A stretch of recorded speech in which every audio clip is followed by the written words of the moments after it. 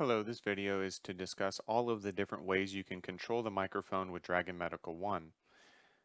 First, you can use your mouse to control the microphone on and off by clicking on the microphone button. This is a test dictation period, and then clicking it off. You can also use hotkeys by going into your options and then going into hotkeys. And if you don't have a hotkey assigned, you can create one. I am using my number pad on the subtract key because I don't use my number pad. So I can turn on the microphone by hitting the number pad subtract key. Test dictation, one, two, three. And as you can see, the microphone turns on and off.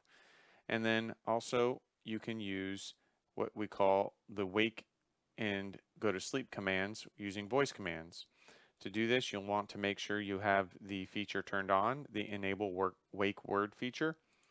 And you can also have this uh, turned on at startup so it's ready to go when you open up Dragon.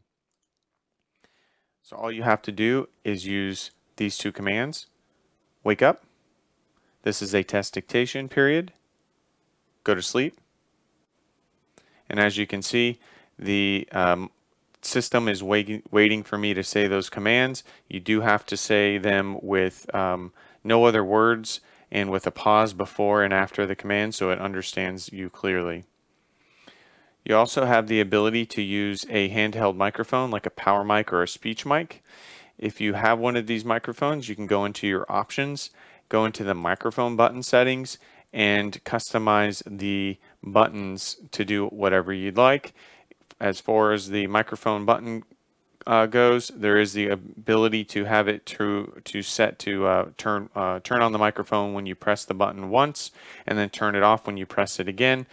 I like to use the press and hold feature because this um, makes it easier for me to turn off the microphone and not forget to turn it off if I get interrupted, and then it transcribes things that I don't want it to transcribe. So I'll go ahead and try that.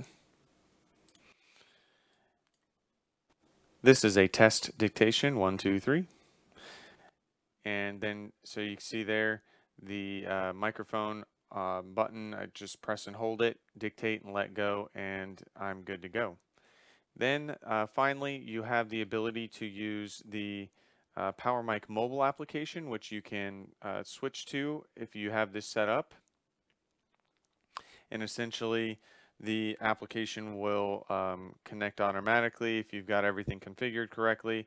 And you can see here the uh, application has got a big microphone button for me to press and dictate into my system. Since I'm not clicked into the EMR, the um, dictation box is going to pick up. But you can press it on and off and control your microphone that way.